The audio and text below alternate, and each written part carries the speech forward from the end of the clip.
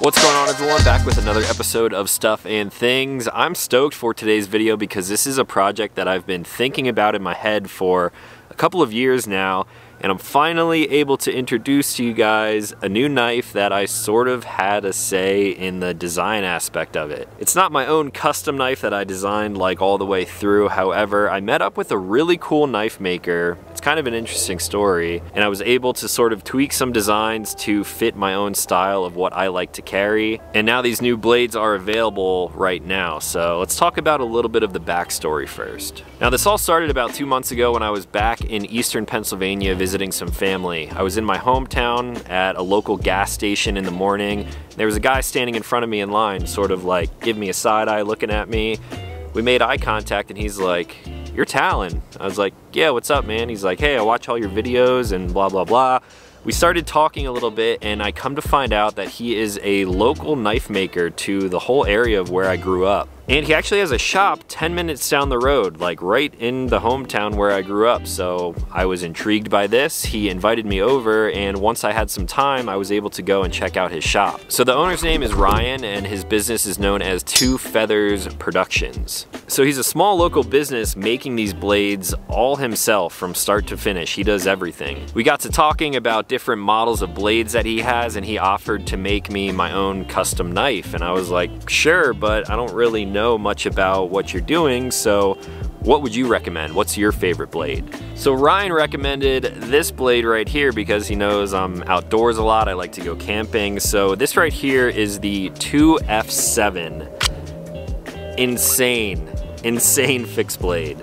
So since he offered to make me a custom knife, I got to pick like my handle materials and stuff like that, and I wanted to go with the knife that was sort of like his flagship. This is the one that he recommended, and he knows what I like to do with knives, so this is the one that he first made me. So the 2F7 is a massive 7 inch cutting edge blade and this thing is just built like a tank. It's really fit for kind of like survival, bushcraft, or camping. And the way I will probably end up using this knife is for a lot of firewood prep.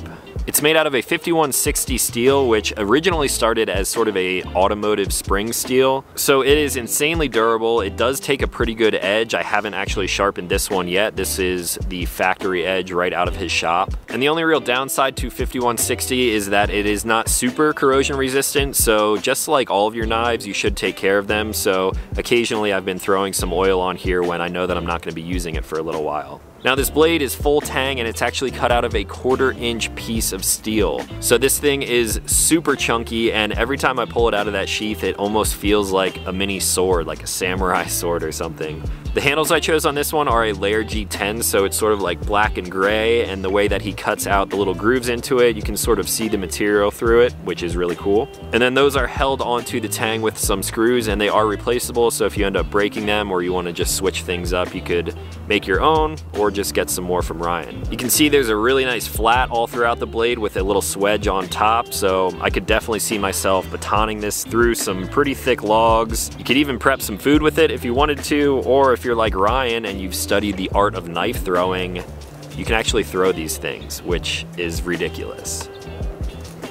So this is the first blade that he made me, but that's not why I'm making this video. While I was at his shop picking up all the different knives and sort of seeing what I liked, I kept gravitating towards this knife right here, which is the Two Feathers Workhorse. I kept picking this knife up over and over again because it's just like a really good size for a camp knife, food prep, almost an EDC knife. You could do pretty much anything that you want with this. So when I got the first package in the mail from Ryan, he did send me the 2F7 because this is the one that we sort of agreed on that he was gonna make me, but he also threw this into the mix, which is super cool. So Ryan, thank you for doing that. He also sent me a note and said, hey, I saw you kept picking this knife up, so I figured I would make you one of these to match as well. So that brings us to the workhorse. Still made out of a 5160 steel, full tang, same G10 handles to match the 2F7, and it is quarter inch steel. So this thing is super thick and chunky. It's got a really good weight to it. The finger choil on this one is a little bit more pronounced and once you get a two finger grip there, the knife is really well balanced. I should also mention that this is a flat ground blade, which I typically prefer on a lot of my blades. It allows you to sharpen to whichever angle that you see fit for whatever you're gonna be doing with the knife. This one I also have not sharpened. This is the factory edge that Ryan puts on them and they are insanely sharp right out of the box. So once I got the workhorse in my hand, I was like, you know what? I'm gonna try to EDC a fixed blade again. And for the past month and a half now, I have only been carrying fixed blades. If you watch back through some of my recent videos over the past like month and a half, you may see this thing poking out of my front pocket. I've been front pocket carrying this thing for a while now, and honestly, I don't know if I'm gonna go back to a folder after this. So this is the type of sheath that is included with the Workhorse. This knife is coming in at about $160, so super affordable when it comes to custom knives. You get the sheath included, thing fits in there super snug. I've had no problems with this thing rattling loose or coming out. And then for mounting solutions or how you would actually carry this knife, it has a ulti clip. You pop that thing open and this is something that I'm no stranger to. I've had these on holsters and different knife sheaths in the past. So you simply drop that down into your pocket, close that latch up and these things are super, super strong. No matter where you put these clips, whether it's on your belt line or inside of your front pocket, where I like to carry mine, that thing will not move for the entire day. So this is the package that I was carrying for about a month. Pretty large blade, it does take up a lot of front pocket space, but I was able to carry this with my cell phone in my pocket and then I have this big old handle sticking out the side. Super easy to get a good master grip on and pull it out cut stuff, open boxes. I'm basically just using this as an EDC blade. So now that leads us into why you guys are here watching this video. I was carrying this thing for a while and I texted Ryan, I said, hey, would you be down or like open to me sort of making some tweaks and designs to sort of make a knife of my own? He was on board immediately, which is super cool. So I immediately got to work. I basically took his workhorse, which is an already existing design on his website. You can pick these up right now as well as the 2F7. I threw it into Procreate and I basically traced out the design and I just sort of tweaked it a little bit. Made the handle a little bit smaller, made the blade a little bit smaller. That way I could still carry a fixed blade just like this, completely custom, custom sheath, handles, everything. But I wanted to make the workhorse a little bit more EDC friendly because I'm not like going out there chucking these knives into trees. I don't need a crazy big camp knife on me at all times. So Ryan got to work immediately and now I'm happy to introduce you guys to my collaboration between Sei and Two Feathers Productions. This is the Mini Workhorse. Now the Mini Workhorse, just like its larger counterpart, the Workhorse, and even the 2F7, this is a quarter inch 5160 steel. Since this is a knife that I've personally been testing and carrying for a while, I did put my own edge on here and this thing got razor sharp, like hair popping sharp. I stuck with the black and gray G10 handle scales, but this time instead of the grooves, we did just sort of like a little shallow cut in there to sort of show off the design of the layers. And again, those are replaceable just like on the larger counterpart. There's a really nice finger choil there to help balance out the knife, and I just took enough off of the original workhorse to make this thing fit perfectly in my hand. You can still get a good grip on it in your pocket or on your belt line wherever you are carrying this thing. And I have pretty large hands. I typically wear like a size large glove and there's just a little bit protruding out of the back end. So if you wanted to use that backside as sort of a pommel, that's something that you could do. Now just like the Workhorse, the mini version is also a flat ground blade, which I love. It does have a really nice flat on there, so you can mount this up to whatever sharpening system you use and put your own edge on there if you like. We also added an acid etched two feathers logo to the left side of the blade, and since this is a collaboration, we also have a acid etched Sei logo on the right side of the blade. Now when Ryan sent me the prototype of this knife, he actually sent me two different versions because I wasn't sure if a small blade like this would fit my hand well and be a good knife with that quarter inch steel. So he also sent me this version of a prototype right here, which is a 3 16th version. A little bit slimmer, still feels really good in the hand, but after comparing both the 3 16th and the quarter inch, this one just has a little more flair to it.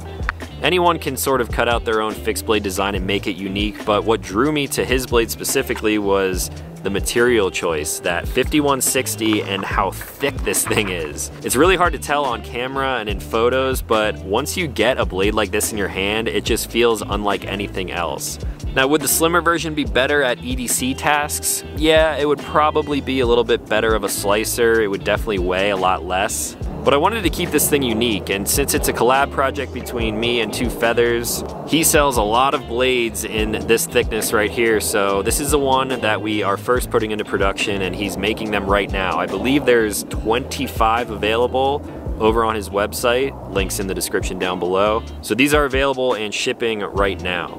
In the future, for anyone who picks up one of these blades, maybe if you guys would prefer a slimmer version, then maybe we could make those 3 16th versions as well. But for now, this is a knife that I fell in love with. I've been carrying this thing every day. I believe Ryan is actually carrying one as well. And this is a really cool project because he's into sort of like bushcraft survival, large type of knives, and I'm of course into the EDC world. So we sort of blended both of our styles into the mini workhorse and this is the final result right here. So this right now is my go-to blade. I've had this in my pocket since I got this first prototype and there are just so many things that I love about carrying a fixed blade. This knife also does ship with a sheath just like the other ones. These are all handmade by Ryan and you can tell the design is a little bit different on them because we wanted to sort of maximize the pocket space.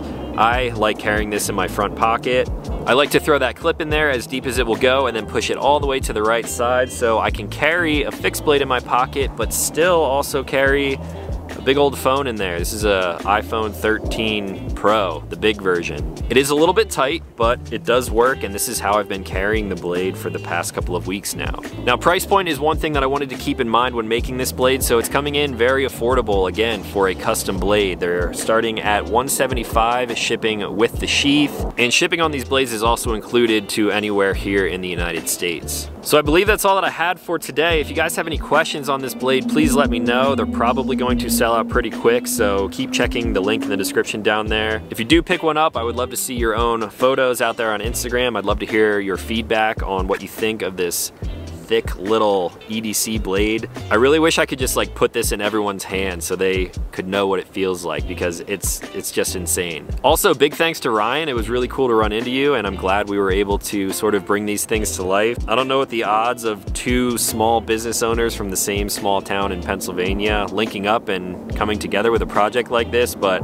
it's super cool, man. If you guys are into quality USA made knives and you like supporting small business, then go check out his website. These are available right now in small quantities and these other knives are basically made to order. So if you like the 2F7 or even the full size workhorse, you can place an order over on his website and his lead times as of right now are pretty damn fast. So you guys will see me using this blade as well as some of his other blades in some upcoming camping videos. Definitely looking forward to putting that 2F7 to the test and I'll give you guys some more feedback on the blades in some future videos. So that is all. If you're new to the channel, consider clicking subscribe. I make new videos every week.